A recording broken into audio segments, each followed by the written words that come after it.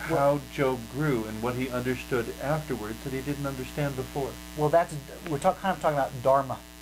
Okay. So, talk, so karma. Dharma is a Hindu word. Dharma is a Hindu word, whereas karma means action. What you put out is what you get back, more or less. With, with Okay. taking action, dharma is your duty, is, is what you are drawn to do, is what your purpose in life is, more or less. It's a it's not an exact description. So, a lot of times, But it kind of translates as purpose.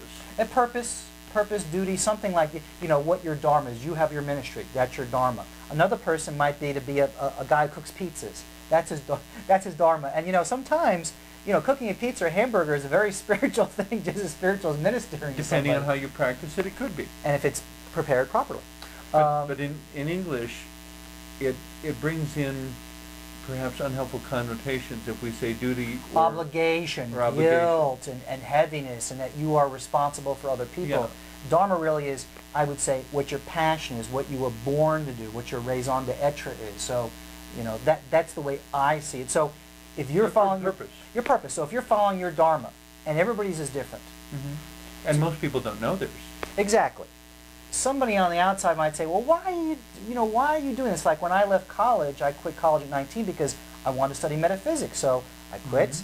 I had, a, uh, you know, I was. Mm-hmm. And everyone said, "What are you doing?" What are you doing? You know, and they thought I was crazy. But in the end, like it worked out because Mm-hmm. I, I always lived a charmed existence and things worked out. But I knew that that was my path. Other people thought I was nuts. They thought I should get married and get a stable job. But that would have been the opposite of what I want at that point. That would have been the death of, of who I Which am. Which means if you had done it, you might have had the house, the car, the family, but you wouldn't have been happy.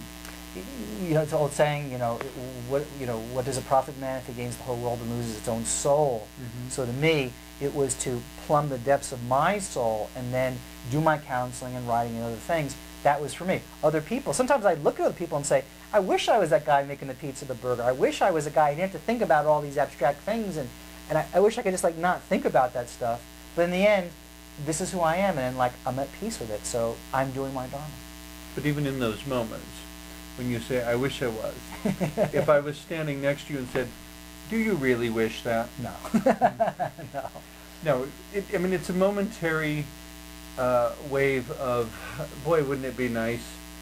But no, I wouldn't do it. uh, you know, and, and that's one of the challenges, I guess, of being a person who is aware, uh, who is engaged in growth, who is engaged in seeing beyond surfaces. That one of our constant companion is doubt and, and wavering back and forth. That we do things because we feel the intuition, uh, we do the Dharma because we feel the purpose, and there are plenty of moments where we go, geez, it would be nice if it was easy, and we don't really mean it, but it's what we're feeling at that moment. Um, you know, just because we're human and we get tired, We're going through a lot but we of come back to the Dharma. we're, we're- going through a lot of transformation now on the planet. So I know that a lot of people who are ministering or counseling or trying to up level the consciousness on the planet, they have to do two things. They have to become a bridge. They have to be in the society, born into the society, part of it to understand it, and then be introducing new ideas. And even where we are in the United States, people forget. You know, we take it for granted now. People died. I mean, we had slavery in the country, and, and we had all sorts of problems, and what we did to the indigenous peoples and different cultures. I mean, it's been a very tumultuous, even though we're a relatively young nation, but a lot of people suffered just for us, me and you, to be here today mm-hmm. on public television, having this conversation, being who we are. Many people had to pay a price. People mm-hmm. had to fight wars and to and to fight for rights for different things. So, you know, we forget that. So their dharma, you know, was probably a little more grittier than what we have to face comparatively. So people died in wars or being burned at the stake and all those things. So, mm-hmm. So whenever I find myself getting you know too sad about something, now what I do nowadays is say, you know, snap out of it. You know, it's not that bad. It's neutral. It's no big deal. And don't feel sorry for yourself, but appreciate the opportunity to offer a different opinion. I mean, I'm very heartened by our new president, Obama, where he's talking about ecology and green energy and all those things, which are very dear to me because I want the planet to be healthy.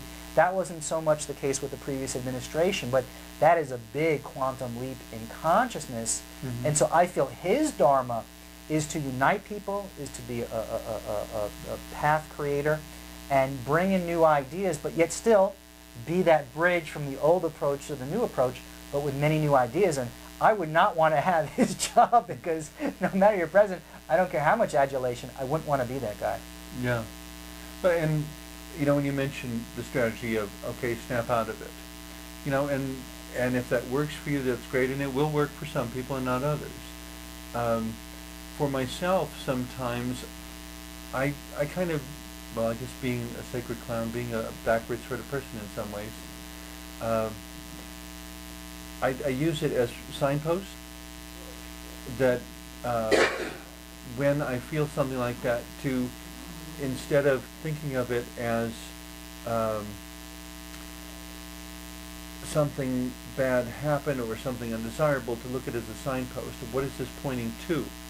Um, what is it concerned with? What is it telling me about? Um, what concern in me is it raising? Well, in terms of Dharma, you know, sometimes people have a path that they want to go on and they have good intentions. They want to help the planet, they want to minister to people, they, wa- they want to do something good for the planet, you know, Mhm. activism, something. But of course, there's the old adage, the road to hell is paved with good intentions. That, but also what I find is that a lesson for those people and what I went through is I got to take care of myself. I'm a human being. I may Mhm. think of myself as an infant being or a soul or a, a being of energy, whatever it is, but I'm in a physicalized body. I have to eat. I have to sleep. I have to get emotional nurturance. And I can't let my dharma deny me those things because in a way I'm denying a part of my humanity. And if I can nurture myself and do my outer work, Mhm. then there's balance. So we come to balance. So in Dharma, very important that you have balance because if you don't, you won't last very long. You will not have a long career because you will burn out. You will you will lose your vitality because you'll not be honoring yourself. So me to me the definition of Dharma is also doing your duty, but honoring yourself, loving yourself. How how can you take care of yourself and do your work in the outer world? The duty that's assigned to you by yourself and by the universe, more than the duty that might be assigned to you by society around you. Well, it depends on you define it like if you say, I'm here to improve the planet. So you might think that means sacrifice. What I've learned now is I can still do things that, you know, to help the planet, but I do what excites me. So it's different. I don't feel like, well, I'm guilty. I should do this. I still do good things. But what excites me, because if I'm putting out my Dharma in a sense to show other people, I'm doing it excites me.